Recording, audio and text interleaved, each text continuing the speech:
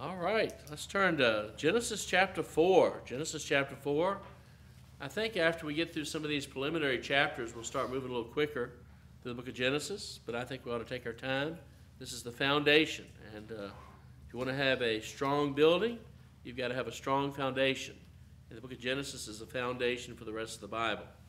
But in Genesis chapter 4, last time we looked at verses uh, 1 and 2, and uh, we noticed here that although Adam and Eve had many sons and daughters, and that's found in Genesis chapter 5, verse 4, uh, two children were evidently their two first children were Cain. The word Cain means what? Anybody remember? Possession. Possession, that's right. Evidently, uh, he was a treasured young man. And then the second boy was Abel.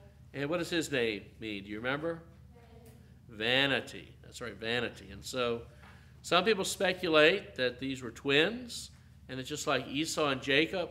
Esau came first, and then Jacob came after. Um, in the same way, uh, Cain came, and then Abel came. But in any case, Cain was older than Abel, and uh, we, we noted that last time. And then in verse number two, it says, uh, And Abel was a keeper of sheep, but Cain was a tiller of the ground. So Abel was a shepherd, and so he cared for goats and sheep, whatever it was that they had. And Cain was a farmer. And that's one thing I learned when I went out west. They differentiate between farmers who grow crops and ranchers who raise animals. And so you might say that uh, Abel was a rancher and Cain was a farmer. Two offerings were given, verses 3 through 5. And in the process of time, it came to pass that Cain brought of the fruit of the ground an offering unto the Lord. And Abel he also brought of the firstlings of his flock and of the fat thereof. And the Lord had respect unto Abel and to his offering, but unto Cain and to his offering he had not respect. And Cain was very wroth, and his countenance fell. So we see two offerings that were given here. We have Cain, and he brought vegetables and fruit that he had grown, and he offered it on the altar to God. And this offering that he brought was rejected. It was rejected by God. Abel, on the other hand, brought a lamb and sacrificed the lamb, and that offering was accepted by God. And so some people say, well, how do they know whether their offering was accepted or rejected? And I have one of those uh, images from my Sunday school childhood burned in my head where uh, Abel's smoke is going up and Cain's smoke is going like that. So I don't know if that is what happened, or I don't know if someone said that maybe, you know, at that point offerings were consumed by fire from heaven, and maybe God sent down his fire from heaven on Abel's offering and not on Cain's offering. You know, we don't know how they could tell the difference, but we know that Abel's offering was accepted, Cain's offering was rejected. So then the question we ask ourselves is why was Cain's offering rejected while Abel's was accepted? Let's look at uh, Hebrews chapter 11. Hebrews chapter 11.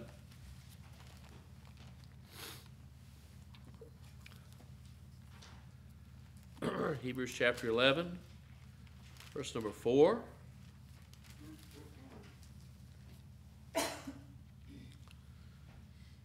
says here, by faith, Abel offered unto God a more excellent sacrifice than Cain, by which he obtained witness that he was righteous, God testifying of his gifts, and by it he being dead yet speaketh.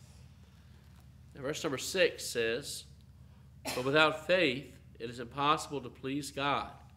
For he that cometh to God must believe that he is, that he is a rewarder of them that diligently seek him. And one of the things we see here about Abel's offering that set it apart from Cain's is that Abel's offering was given by faith. He was trusting. He was trusting, I believe, in the promise that God had made in Genesis chapter 3, verse 15, that one day the seed of the woman would be bruised in the heel by Satan, but then Satan himself, through the seed of the woman, would have his head crushed. I think he was believing that when God slew that animal and clothed Adam and Eve with the coats from that animal in Genesis chapter 3, that this was pointing to a sacrifice that one day would have to be made by the seed of the woman in order to pay for the sins of mankind. And so, why was Cain's offering rejected while Abel's offering was accepted? Abel's was done in faith, and Cain's was not. You know, Abel believed in the God that the offering was being lifted up to. Cain was just going through the motions. Cain was religious, but he was lost.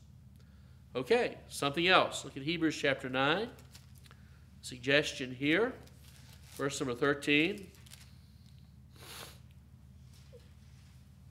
It says, uh, For if the blood of bulls and of goats and the ashes of an heifer, sprinkling the unclean, sanctifieth to the purifying of the flesh, how much more shall the blood of Christ, who through the eternal Spirit offered himself without spot to God, purge your conscience from dead works to serve the living God? Verse 18. Whereupon neither the first testament was dedicated without blood. For when Moses had spoken every precept to all the people according to the law, he took the blood of calves and of goats with water and scarlet wool and hyssop and sprinkled both the book and all the people, saying, This is the blood of the testament which God has enjoined unto you. Moreover, he sprinkled with blood both the tabernacle and all the vessels of the ministry. Almost all things are by the law purged with blood, and without shedding of blood is no remission.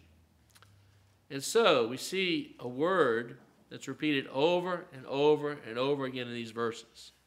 And what is that word that's repeated over and over again in these verses? Blood. Blood, that's right. And so, without the shedding of blood is no remission. We see in the Old Testament that the, uh, uh, the there was a there was ceremony that was given in verse number 13 where the blood of animals was shed as a picture of the coming sacrifice of Christ. In verse number 14, we see that when Christ came, he sacrificed himself and shed his blood in order to purify us from sin. And so it's been suggested that one of the reasons why Cain's offering was rejected while Abel's offering was accepted is because Abel came through blood. And his offering was a blood offering, and Cain's offering was not. And so we see faith's offering, I mean, faith. Abel's offering was by faith. We see Abel's offering involved the shedding of blood. And then, third, we see that Cain's offering, unlike Abel's, was a product of his own labors. Look at Titus chapter 3. Titus chapter 3. Titus chapter 3. verses 3 through 7. For we ourselves also were sometimes foolish, disobedient, deceived, serving divers lusts and pleasures, living in malice and envy, hateful and hating one another.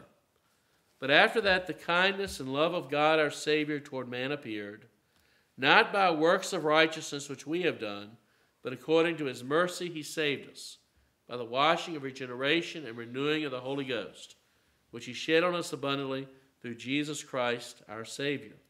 That being justified by his grace, we should be made heirs according to the hope of eternal life. And so, as we think about the offering that Cain gave, uh, yes, you know, Abel had raised this lamb or, you know, the animal that he sacrificed on the altar. But, uh, but, but Cain was expected, I believe, to give a blood sacrifice for his offering.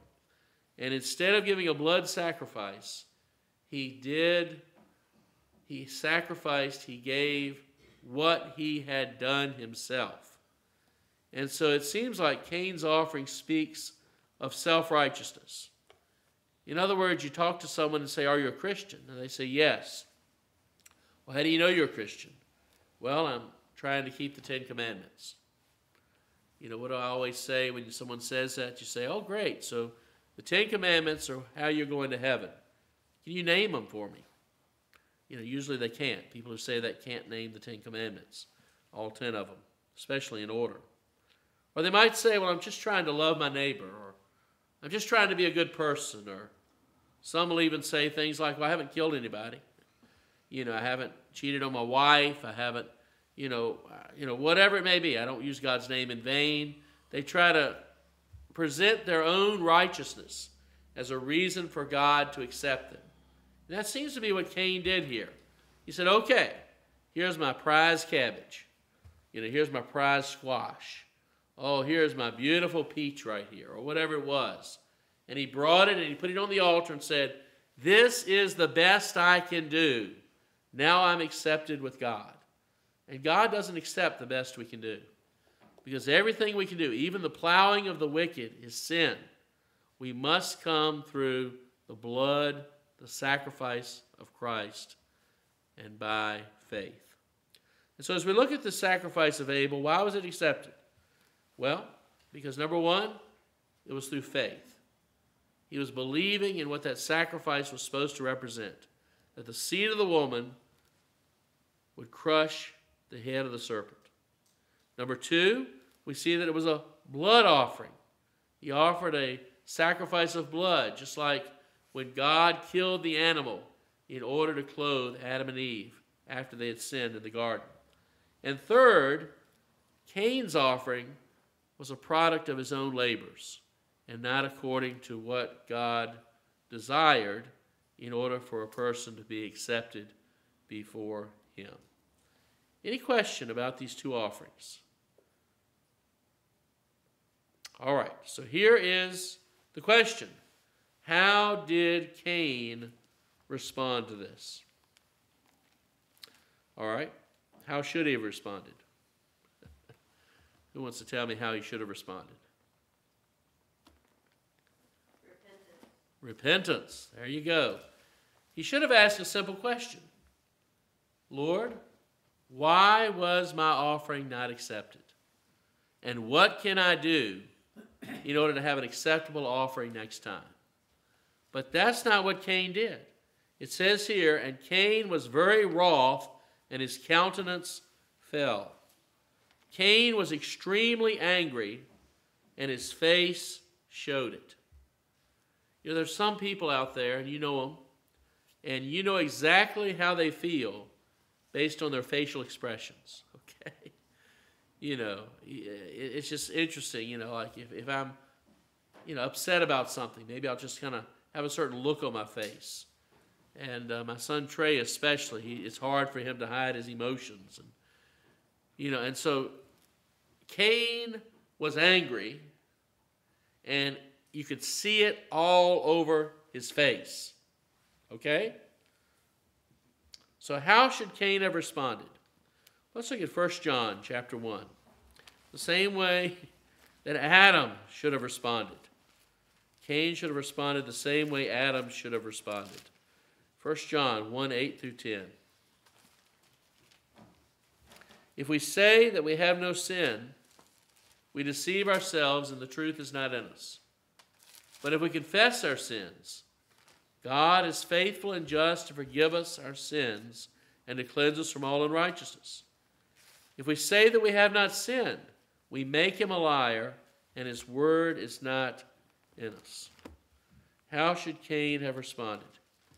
He should have come and said, Lord, Jehovah, I've obviously done something wrong. Please instruct me in what I need to do right with this sacrifice, and I will do it. And God will say, You know what? There's nothing you can do. But just have faith in me you know, trust that my promise is true, that one day I will be victorious over sin through the seed of the woman. And then offer a sacrifice which represents the sacrifice that he is going to give, and that is a blood sacrifice on the altar. And you will be accepted. So, how did God respond to Cain? Well, verse number six. And the Lord, Jehovah, said unto Cain, Why art thou wroth, and why is thy countenance fallen? Now, do I need to say this again? When God asked these questions, was he looking at Cain's face and sincerely wondering why Cain was so mad? Was he? No. God is omniscient, God is all knowing. And so when God asks a question, it's not for his own informational purposes. Instead, he asks questions for two reasons. Number one, to help someone process a particular truth. That's what a good teacher does. He asks questions a lot of times not because he doesn't know the answer, but because he wants to help the students understand it better. And number two, he asks questions to lovingly confront someone over his sin so that he can repent. Remember Genesis chapter 3? It's the same way he dealt with Cain's daddy. Genesis 3, verse 9. And the Lord God called unto Adam and said, Where art thou? Did he know where he was? Yeah. But he's reaching out to Adam. And Adam said, I heard thy voice in the garden, and I was afraid because I was naked, and I hid myself. And God said, Who told thee that thou wast naked? Hast thou eaten of the tree whereof I commanded thee that thou shouldest not eat? God knew where Adam was. And God knew what Adam had done. But he was trying to get Adam to understand the gravity of what he had done and trying to get Adam to come to a point where he confessed, he admitted his sin before God. And what did Adam do? Oh, that woman you gave me. What did the woman do? Oh, that snake you put in the garden. But then, you know, we see them hopefully learning their lesson, but we don't, we don't see that for certain there. So, why was Cain angry? Why did his face look so disturbed? It was because his sacrifice, his worship, was not accepted by God. And his brother Abel's was. It wasn't because he wanted to be right with God. It's that he was angry that his brother Abel was right with God and was accepted before God, and he was not. Jealousy. Jealousy. So, verse number seven. And also, I think it was an idea of, you know, my way is just as valid as his way. And I think, as Heather pointed out, it's also the sense that, you know, Cain meant possession. Man, this is a treasured young man. This is the firstborn son. And they probably treated him that way. And yet Abel's name means vanity, which means emptiness or nothingness. and he was probably treated the same way. And so Abel, through how he was treated, perhaps became humble. And Cain, through how he was treated, became proud. And Cain was like one of these young people today that thinks they can't do anything wrong. If you try to correct them, what do they do? They get mad. They get mad. That's where Cain was. But in verse 7, God lovingly says, If thou doest well, shalt thou not be accepted? And if thou doest not well, sin lieth at the door. And unto thee shall be his desire, and thou shalt rule over him. What a wonderful statement here. And it's applicable to all of us as well when we get out of sorts with God when we feel distant from God, like He's not hearing our prayers and such. Says here, if thou doest well, shalt thou not be accepted?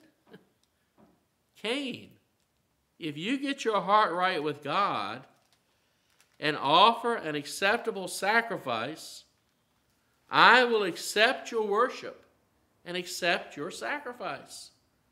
We sang that little chorus today. Do right till the stars fall. Just do right. Sometimes parents say that to kids, do we not?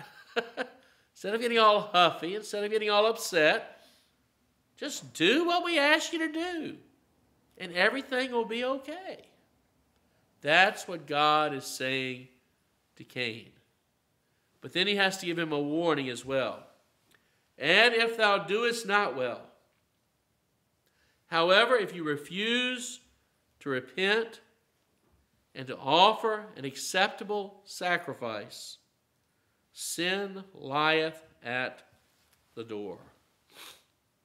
The word lieth here means it crouches at the door. It's like a wild animal getting ready to pounce on its prey. That's what it's like. Sin is getting ready to destroy you, Cain, if you don't do right, if you don't repent, if you don't offer that acceptable sacrifice a sacrifice by faith, a blood sacrifice, and one that is not of your own hands, but that I require. What about us? If we do not turn from our sins and trust the perfect sacrifice for our sin, Jesus, sin will tear us up in this life and then condemn us in the next. There we have it, just like Cain. Then this last line comes with some controversy. And unto thee shall be his desire, and thou shalt rule over him. The word him and he there, there's some controversy as to what exactly that is. I believe it's talking about sin in these, this verse.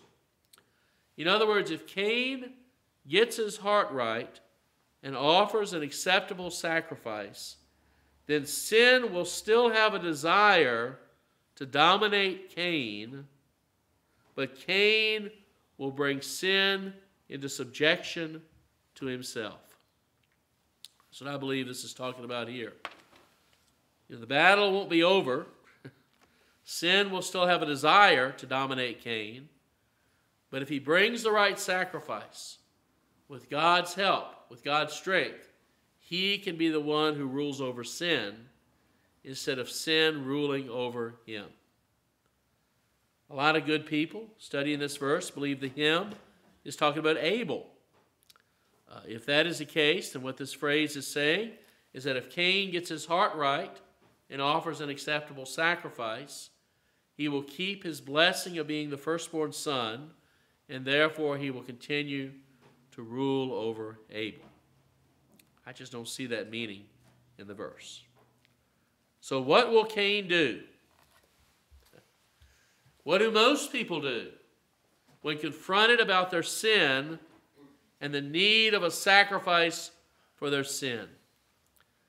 I'll never forget giving a tract to the secretary at the place where I bought my glasses when I was growing up. And the track said on the front, Are you saved? And she said, Saved from what?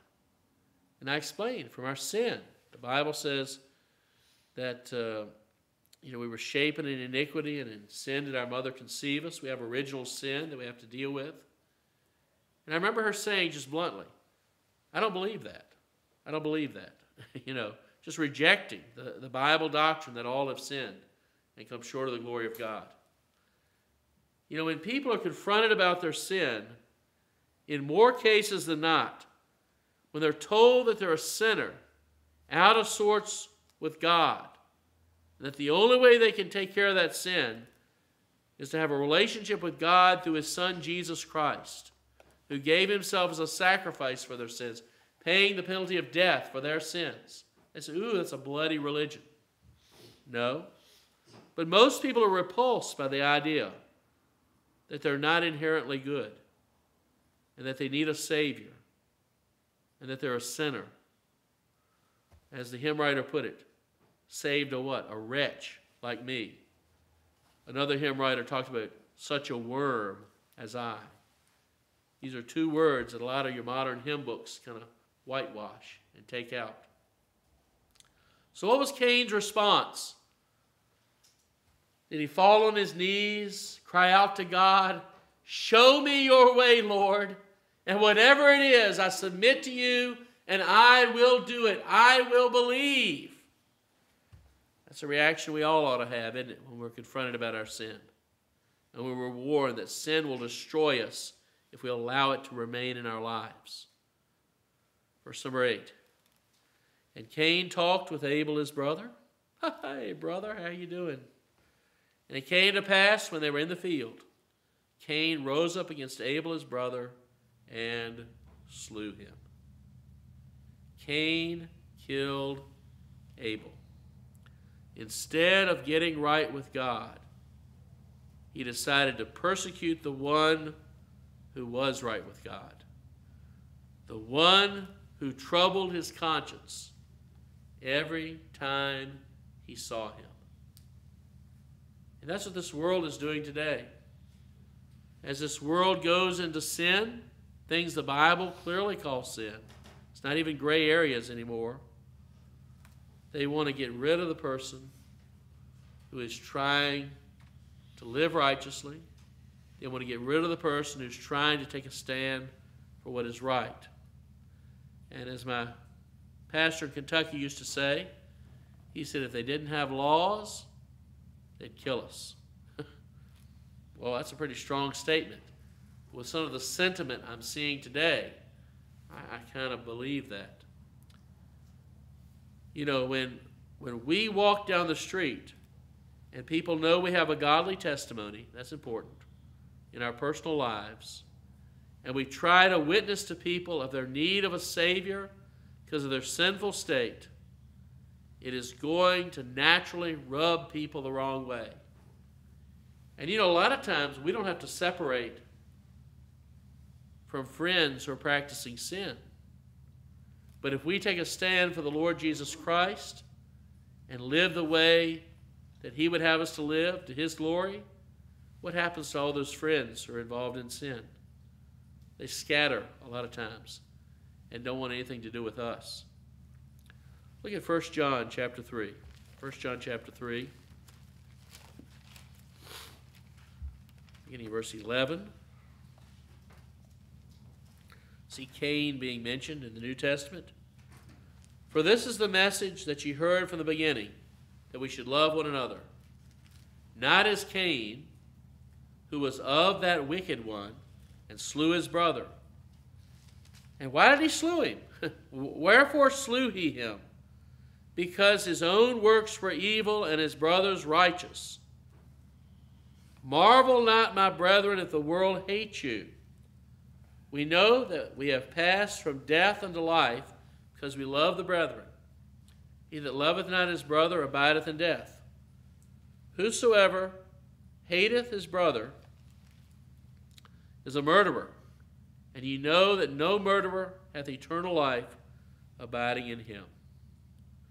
It's very interesting. One of the people I was studying after for this lesson went to James chapter 1. And we see this illustrated in the life of Cain and Abel. But it says, uh, verse number 14 But every man is tempted when he is drawn away of his own lust and enticed. Then when lust has conceived, it bringeth forth sin. When it is in sin, when it is finished, bringeth forth death. Do not err, my beloved brethren. And they said this is exactly what happened in the case of Cain with Abel. We see here that there was a, an anger and a hatred toward his brother Abel for being right with God. And that anger that hatred resulted in what? it resulted in Cain physically killing. When it became sin, Cain physically killed Abel. It is a literal fulfillment of James 1, verses 14 and 15. And so, what do we see God doing? Well, what we see in verse number 9 is after Cain killed Abel, we see God mercifully and gracious, graciously reaching out to Cain, calling him to repentance. He does it with a question. Isn't that how God operates? And what we're going to see is next time how Cain responds to God's gracious